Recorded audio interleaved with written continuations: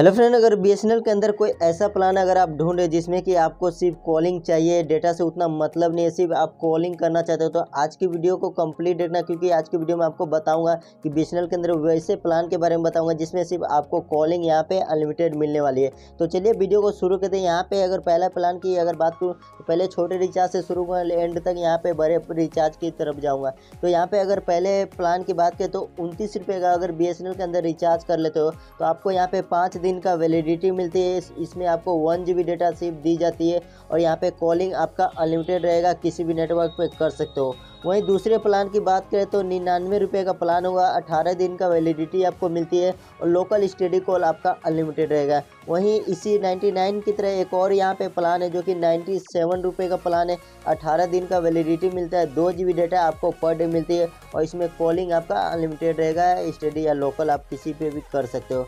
वहीं चौथे प्लान की बात करें तो एक सौ का प्लान होगा। तीस दिन की वैलिडिटी आपको मिलती है। इसमें आपको दस जी डेटा टोटल दी जाती है और इसमें अनलिमिटेड अनलिमिटेड कॉलिंग का सपोर्ट आपको मिलता है लोकल या स्टडी वहीं पाँचवें प्लान की बात करें तो तीन सौ का अगर बीएसएनएल के अंदर रिचार्ज करते हो तो आपको पैंसठ दिन की वैलिडिटी मिलती है और इसमें डेटा जो टोटल डेटा इसमें दस जी डेटा दी जाती है। इनमें कॉलिंग आपका अनलिमिटेड रहेगा और इसमें तीन सौ भी आपको दी जाती है जो कि आपको पैंसठ दिन तक ये वर्क करेगी। वहीं छठे प्लान की बात करें तो नौ सौ निन्यानवे रुपये का प्लान होगा 200 दिन की आपको वैलिडिटी मिलेगी।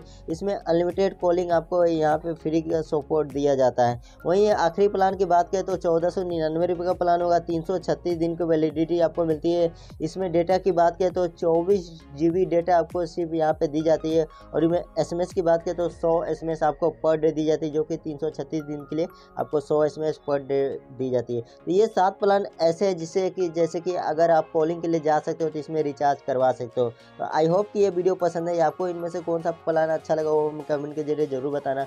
और वीडियो पसंद है तो एक लाइक कर देना चैनल पर नया है तो प्लीज़ चैनल को सब्सक्राइब कर लेना क्योंकि ऐसी हेल्पफुल वीडियो आगे भी आपको देता रहूँगा। तो मिलते हैं एक और नई वीडियो के साथ। तब तक के लिए आपका दिन शुभ